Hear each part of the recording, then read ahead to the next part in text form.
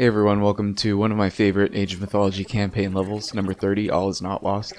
And uh, this is, uh, I think, the fastest speed up I've ever done on a video. This is done at five times speed, just because it, it took a while, and I, um, I pulled a little trick at the start here, where you're supposed to run in here and build a, uh, a town center on this settlement, but the nothing starts on the level until you actually build that town center. So what I do is I use my few villagers and, um, and Brokk and Eitri to, um, uh, collect resources and uh, use my Ulfsarks to scout around and build up walls and um, kind of get things going. And also, there are a few houses that be uh, scattered around that become yours when you build the town center, so you can uh, gain a little extra population by building your uh, your quota of houses before the um, before you build the town center. So uh, that's part of why I sped it up so much is just because I took a few minutes to do this at the beginning. And of course, you could just build the town center right away and um, you know, and deal with the. Uh, I think it's a. I don't know, 20 minutes you have to defend or something like that until uh, until you get reinforcements. But um, anyway, I just wanted to show this as an example of of, uh, of what you can do to uh, beat the system a little bit, and that's why I sped it up so much because it's it's not really necessary, and the level took about 45 minutes or so. And so, uh, just with one ox cart, you have to kind of be careful where you use it. And uh, so I try to keep them. And now I'm just mining gold, but because uh, I think I have enough wood for um, to get two town centers going. Or actually, no, I can't. I'm only in the classical age, so I can't. Uh, I can't put up two town centers, but I needed gold for the walls, and then uh, so that's why I'm just mining it all right there, and I, I think I'm uh, after that I think I move over to some herds to uh, to collect food. And actually, actually, yeah, I think I bring everybody over to this herd, and there's also a gold mine nearby, so I can take advantage of that. Yeah, there's a gold mine there, and then the, the herd, so I can kind of put the um the old uh put the ox cart in between. I always get ox cart and ox caravan uh, mixed up. But I actually I pre-built that town center up to a certain like most of the way just to uh, get it going. And you can see on the game time it's already at 13 some odd minutes, so that's why I wanted to speed this up quite a bit. Okay, so now I have 10 so you have 10 minutes to build up the defenses and uh, so I had all those I had plenty of uh, resources available, so I was ready to um, I think I was able to age up. Yeah, okay, I was able to age up almost instantly. And I went with um, the uh, Frost Giant Skadi for, um, I think there's a farm upgrade, which I really like. And so then once I age up, I'll have enough, uh, I'm just making sure I have enough resources so that as soon as I age up, I can build the second town center, which I did right there. And uh, you don't have to go too crazy with the uh, defenses. Uh, as you can see, I walled up the two of the um, entrances, and then on the left there, where the towers are, is the uh, the main defense I'll use. And uh, so, like it said, you have 10 minutes, and it's only been about two or three, so I still have plenty of time to um, to get things built up. And I'm getting some trade going, just uh, just because.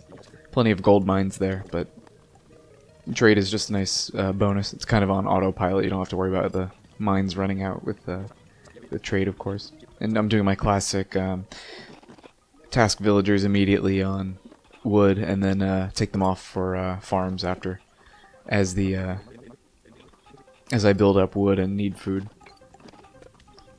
And I think I'm just making some throwing axemen here to hold off the uh,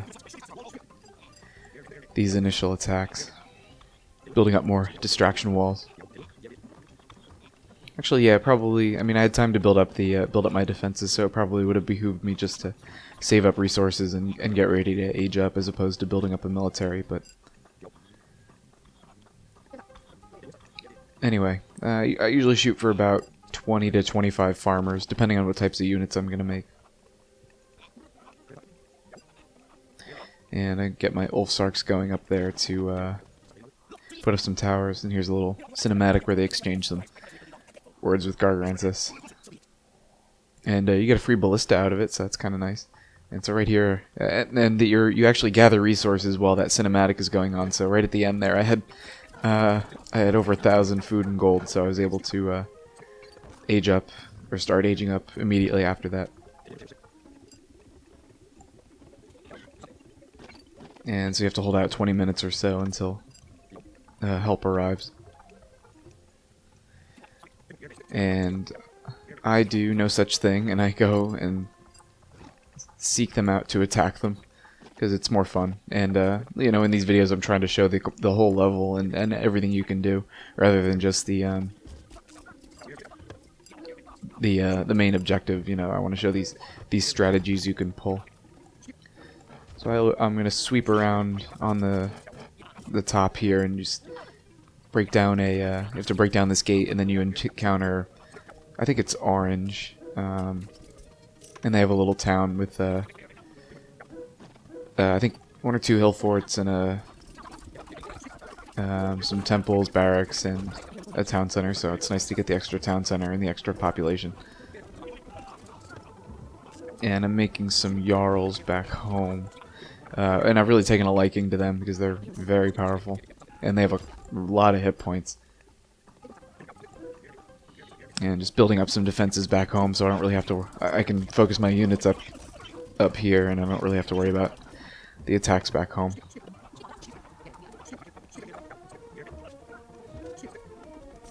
And there are a couple of giants hanging around in the, sort of in the middle of the map, um, in the passways you would take up to that that northern town. So just be mindful of them. So here, this attack is some hydras coming in, and then they attack my town center that I built up there. So I'm kind of I'm spread a little bit uh, thin up here, but I think I had those Jarls on the way, so they were they were able to get there. So I'm just kind of making guys back home and sending them up as as I need to reinforce, and uh, putting a couple walls across just to help keep the enemy out. And so over in the sort of on the far right side of the map is where their uh, where Gargarensis' attacks come from. So I kind of post up over there with my defenses to um, to hold them off. And so if you can do that, then nobody will attack you back home. Just putting up a few hill forts to make Jarls, and uh, I think I make a few a few rams as well.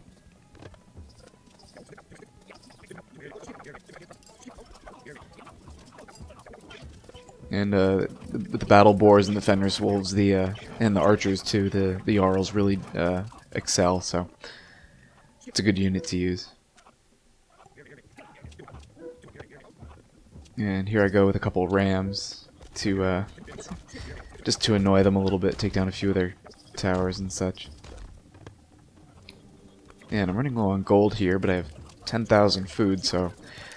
Oh, and I use the... Oh, yeah, I use the frost power there, and I, I send the rams in to uh, clean up some of these towers, which gets get kind of annoying. And I've actually... Maybe I'll play a level where I... Uh, where I actually attack their entire town because I've done that before and, and brute force brute force taking them out, which is a lot of fun, but um, takes a long time because they I think they have a free unit spawn, so they just their reinforcements just keep coming, and there aren't really any resources back there for them, so it must all be triggered by the uh, by the game.